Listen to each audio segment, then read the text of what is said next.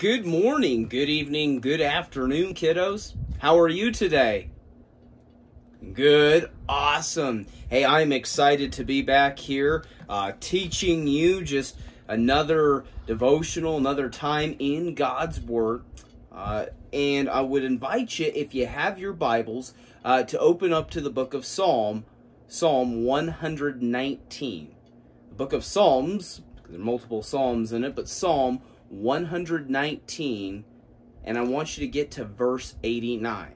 Psalm 119, verse 89.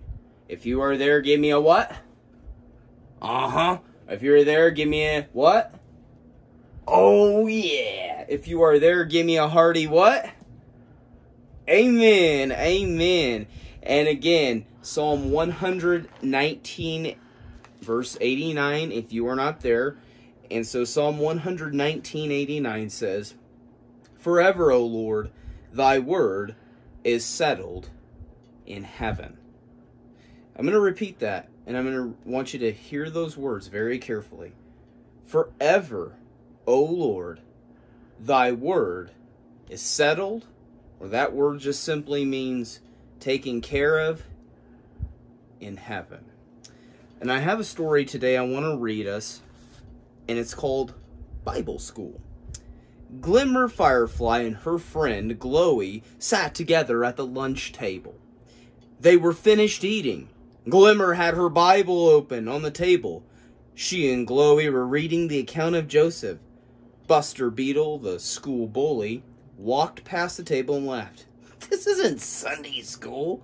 Why are you reading that here? He sneered. The Bible is for every day, not just Sunday, Glimmer bravely answered. Buster just made a face and walked away. Glowy looked at Glimmer. You are brave for reading your Bible at school.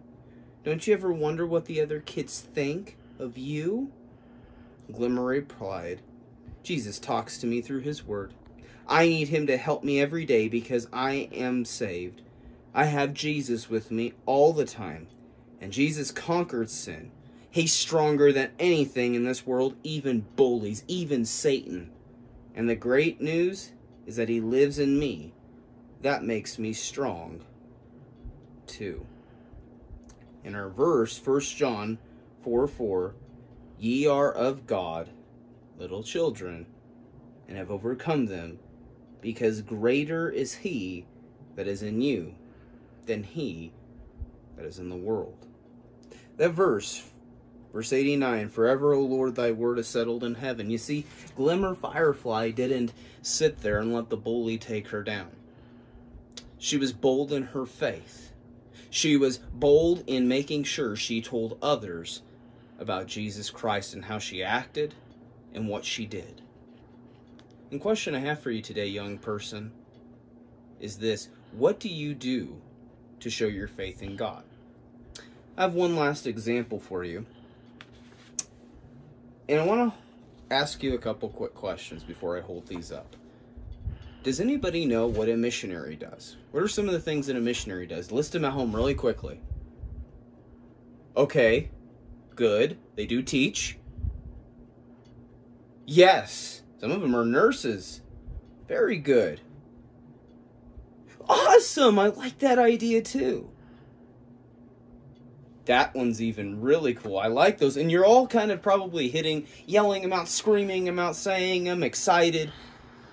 But the biggest thing that a missionary can do, well, is kind of what this says. Can anybody tell me what this says? Well, you probably can't because it's in Chinese. Let's read what it says. And I may mess up the pronunciation, by the way. Sheng Di Ni. Mr. Emerson, I don't know what in the world you just said. Okay. How about this one? Some of viewers, if you know this in Spanish, I know a few of you do, make sure that you don't actually translate it, because the point in this is to get to the what it actually means. Dios te ama. Does anybody know what that means at home? A few of you do, I know, because you can speak Spanish. For the my Russian students who are watching this, don't you dare tell your friends what this says. Okay, and I made sure I I'm gonna probably butcher this really, really, really bad because I'm learning Russian as well uh, with our stay-at-home order. But bug, you bit, tibia. And I may have misenunciated that. Nobody knows what that is. I mean, I know my Russian students do. I know some of you who speak Spanish may know what Dios de, de ama means. But all of those mean the same thing. In English, that means God loves you. See, that's a missionary's job. And today, young person, you know what? If you know Jesus Christ as your personal Savior, your job is to tell others about Jesus. Now, some of you may know what this is, some of you may not. This is called a gospel tract. And this is what we can sometimes use as a tool to get God's word out in case we don't have our Bibles with us, but we should have our Bibles with us at all times. We should be excited because forever, O Lord, thy word is settled in heaven. God's word is very clear on how to be saved, on being bold for him, on reading his word versus being scared. Being like Glimmer Firefly in our story that I briefly read versus cowering in fear. Well, what will people think? What or what if they make fun of me? Let me ask you, young person, is it better for you to be cool around your friends? Or for you to follow God because his word is settled forever in heaven? And maybe the reason that you struggle with it is because you have nothing to share.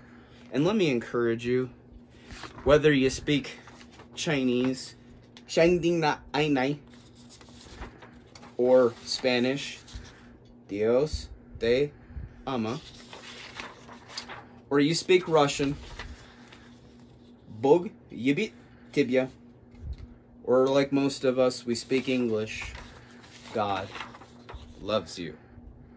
Brother Reynolds did a fantastic job yesterday talking about God's love for us and how he's paid for that penalty. We have nothing to fear. Even though it says for the wages of sin is death, that verse doesn't stop. It says, but the gift of God is eternal life through Jesus Christ our Lord. And that if you do not know Jesus Christ as your personal Savior today, would you please accept him? Will you ask him into your heart? Ask mom and dad. Maybe mom and dad, you don't know Jesus either as you're watching this. It's simply believing that you're a sinner. Accepting that fact that you deserve a place called hell. That Jesus came to pay for your sins. And he didn't just die, he didn't just get buried, but he rose again. He fully paid for your sin. And that you're willing to accept his gift of salvation, which was his death, burial, and resurrection, into your heart and ask Him, receive Him, much like a gift, much like Pastor Lehman talked about. And maybe it's a prayer like this Dear Heavenly Father, I know I've sinned. I know I've done wrong. I know I may have lied. I may, I may have done so many things that have hurt you. And I simply just want to accept you as my personal Savior. Please come into my heart and save me now. I believe your Son died, was buried, and rose again. Again, save me now, Father, in Jesus' name. And again, that prayer isn't what saves you, it's Jesus Christ. But with the mouth confession is made, there needs to be something that comes from here as well as in your heart. And Christian, again, our job is to tell others God loves you. Telling others and showing our faith and making sure that we have a heart, we have a desire to tell others about the Lord Jesus Christ. Let's go ahead and pray, and we'll be on with our day. Dear Heavenly Father, thank you so much for uh, this devotional and just, it's kind of a combination of things. Bible school is what it was called. And Father, the idea that we shouldn't be afraid to share our faith and to read your word. But also, Father, for those who are lost, that they know the love of you and your precious Son, Jesus Christ. Thank you for this time in your word. And please bless anybody who's watching this. Those who are lost, they'd be saved, and those who are saved, they'd be encouraged. to be bold for you. We pray this all in Jesus' name. Amen. Thank you guys and have a wonderful day.